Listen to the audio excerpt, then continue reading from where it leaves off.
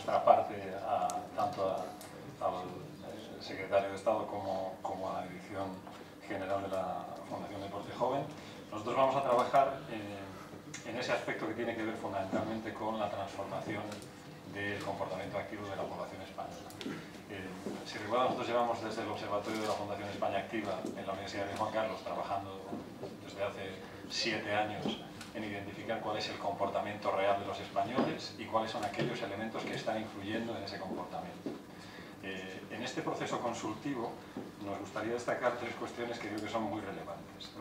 La primera de ellas es que es un proyecto absolutamente único, nunca antes, pero lo que necesitamos son opiniones informadas que permitan una implementación efectiva para que se normalice el comportamiento activo en este país, para que no sea una cuestión extraordinaria o anecdótica, en una parte muy pequeña de la población española es capaz de realizar deporte o actividad física todos los días o muy frecuentemente.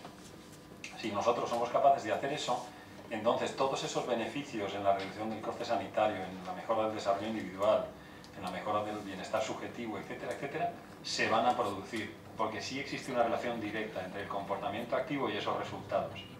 Pero es necesario que haya un proceso de análisis para que la implementación de políticas públicas sea efectiva.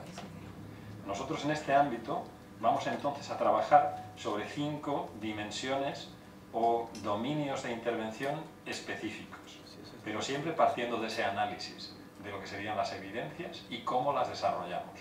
El primero tiene que ver fundamentalmente con cómo el deporte contribuye al desarrollo de los objetivos de desarrollo sostenible, valga la redundancia, del planeta. Cómo el deporte, que es ya capaz de intervenir sobre 13 de esos 17 de manera objetiva y evidenciada, es capaz de hacerlo de manera sostenible. Cómo el ecosistema del deporte no necesita del impulso puntual del ámbito político o de la iniciativa privada para hacerlo. Cómo se normaliza esa acción. La segunda de las dimensiones que vamos a, abordar de manera muy intensiva es cómo el deporte mejora de manera efectiva la salud de los españoles en todos los grupos de edad. Y ahí tenemos varios retos importantes que tienen que ver con el desarrollo exponencial de las enfermedades crónicas asociadas a un estilo de vida inactivo. Es decir, que una parte muy importante de la población española está enferma de no moverse y por lo tanto el y los amigos. Tenemos que incidir sobre esos tres pilares para que realmente las políticas tengan la efectividad que necesitamos individuos físicamente activos, niños, van a tener mejores resultados académicos, por lo tanto van a tener mejores cualificaciones, van a entrar al mercado de trabajo con mejores puestos de trabajo, van a tener mejores salarios y, por ejemplo, van a pagar más impuestos que van a beneficiar al conjunto de la población de este país. Por lo tanto, la cuestión del modelo educativo no es una cuestión menor. Y creo que nuestro país tiene que dar un paso adelante en este sentido de manera clara. El cuarto de los elementos que vamos a abordar tiene que ver con la integración social. ¿Por qué? Porque el comportamiento inactivo socialmente es asimétrico. Son aquellos individuos en, los estatus en los estatus socioeconómicos más bajos los que son más inactivos, los que tienen más dificultades para desarrollar un comportamiento activo o practicar deporte. Por tanto, es una cuestión de atender a las desigualdades sociales.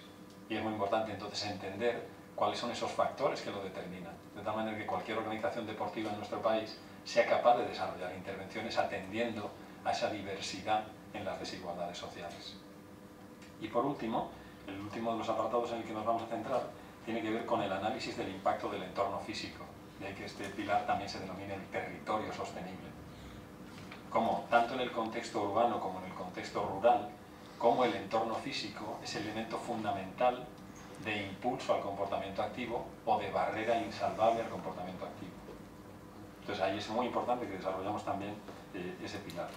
Pero en cualquier caso, eh, para nosotros, desde luego, desde el Centro de Estudios del Deporte y desde la Universidad de Juan Carlos, eh, es un placer estar trabajando en este proyecto